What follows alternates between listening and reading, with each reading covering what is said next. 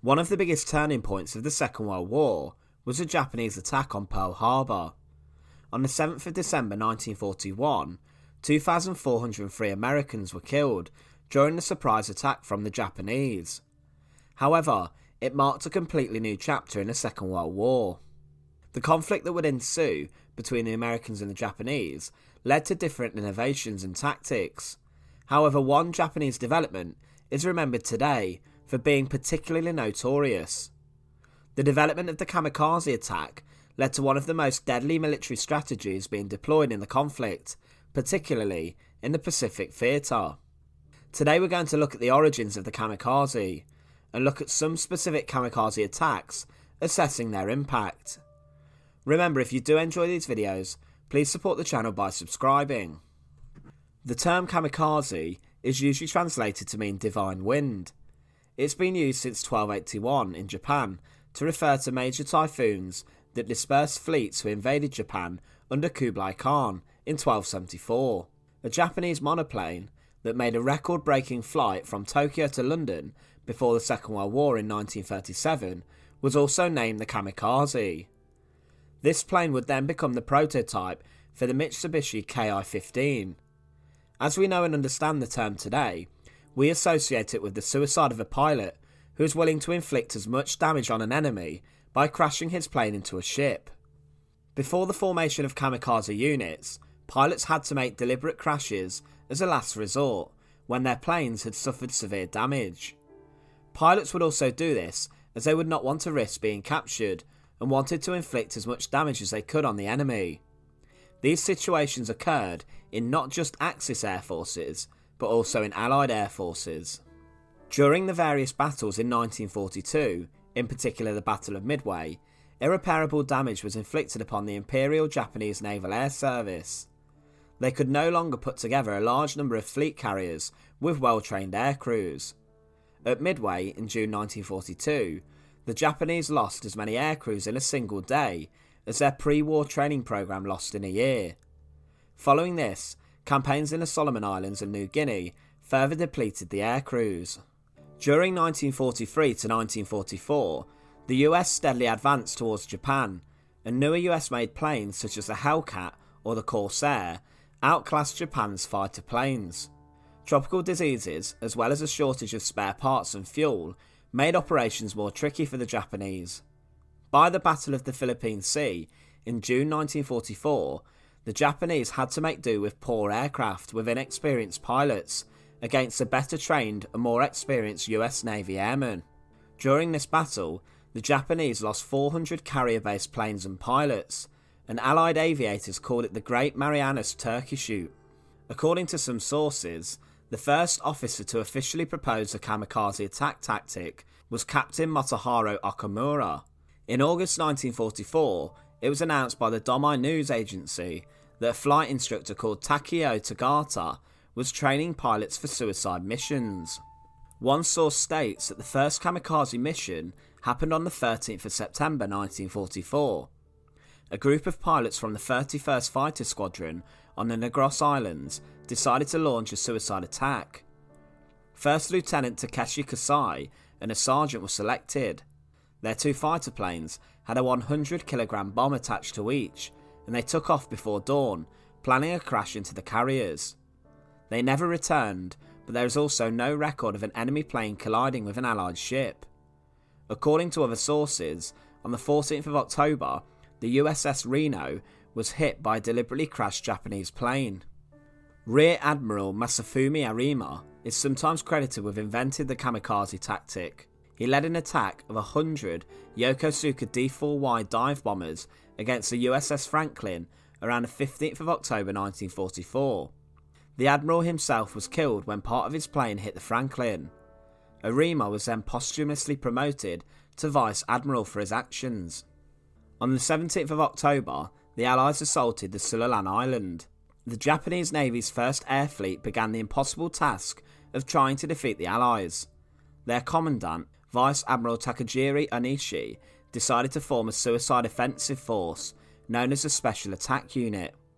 He told officers that the only way to carry out the operation was to put a 250 kilogram bomb onto a Zero and let it crash into a US carrier. The first kamikaze unit was born when Commander Tamai asked a group of 23 talented student pilots to volunteer for a special attack force. All of the pilots asked volunteered, and they were placed under the command of Lieutenant Yukio Seki. Seki would become the 24th chosen kamikaze pilot. He later said, Japan's future is bleak if it is forced to kill one of its best pilots. I am not going on this mission for the Emperor or the Empire.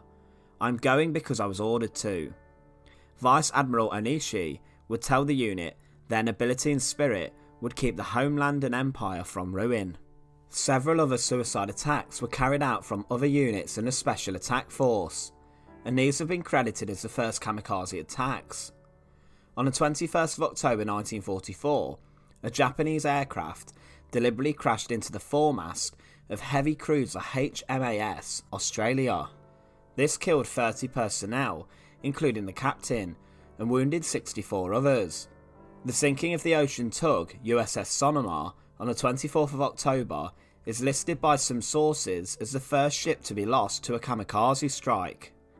On the 26th of October, 55 kamikazes had damaged large escort carriers, the USS Sangamon, Suwannee, Santee, and other smaller escort ships. In total, seven carriers were hit, as well as 40 other ships. Five of these sunk, and 23 were heavily damaged.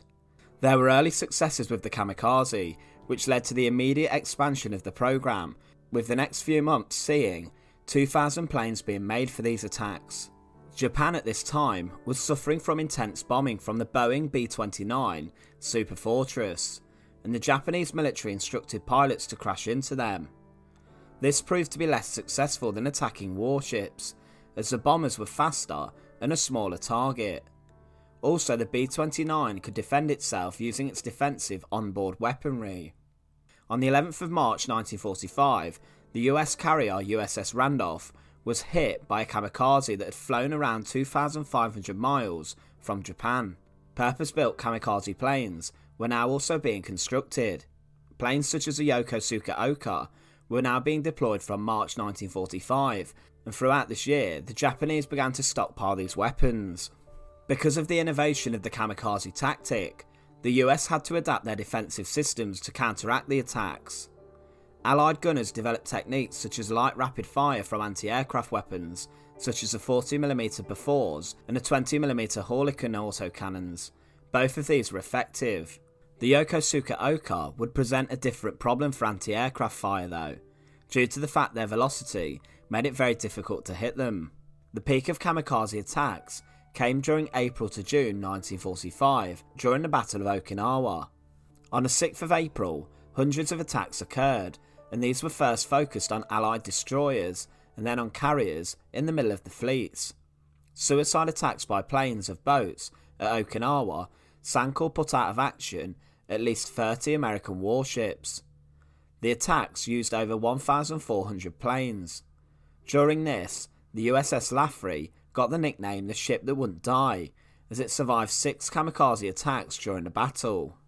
US carriers suffered heavily from kamikaze strikes. In one instance, 389 men were killed in one attack on the USS Bunker Hill. The ship was fully fueled and armed when it was hit. There were also hits on British ships, which resulted in 20 deaths.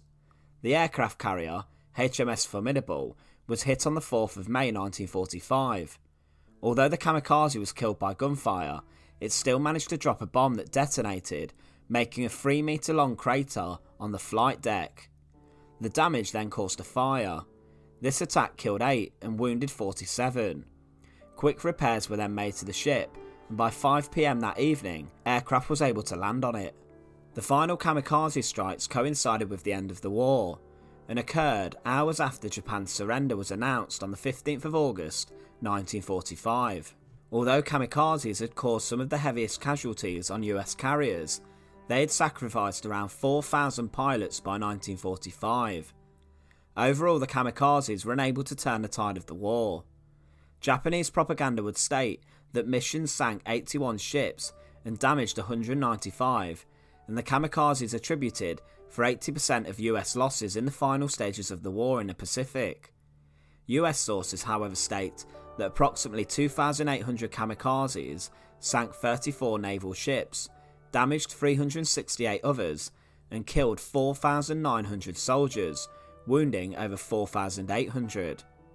They also say that 14% of kamikazes survived to score a hit on a ship, with only 8.5% of all ships being hit by a kamikaze sinking.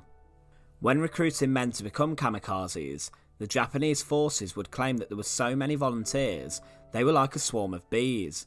At one point, there were twice as many people volunteering as aircraft that was available.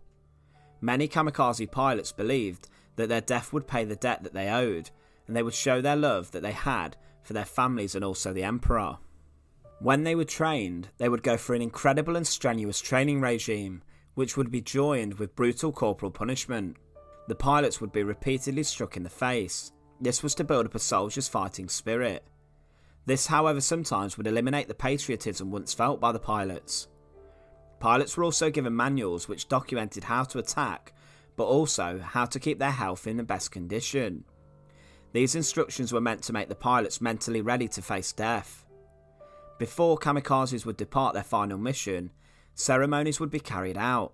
Many army officer kamikazes would take their swords along with them, and the kamikaze would be issued with a Nambu pistol. This would be given to the pilots to end their lives if they risked being captured flying over enemy territory.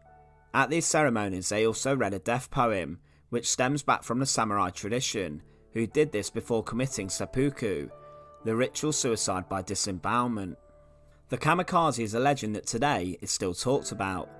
What is baffling, however, is the mental fortitude and commitment to the Emperor that the kamikaze would have to have.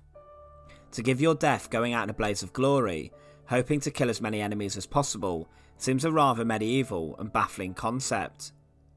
We're going to end this video by revisiting the bee analogy Although the Japanese Air Force once referred to the future kamikazes as a swarm of bees, they were much more similar than just the sheer amount volunteering for the suicide missions. For bees, when they sting, inflict a severe amount of pain. However, once the damage is done, simply die. Much like the kamikaze pilot, giving their sting away to inflict maximum pain in the name of the Imperial Japanese Air Force. Thank you for watching The Untold Past. To support the channel, please subscribe. Once again, thank you for watching.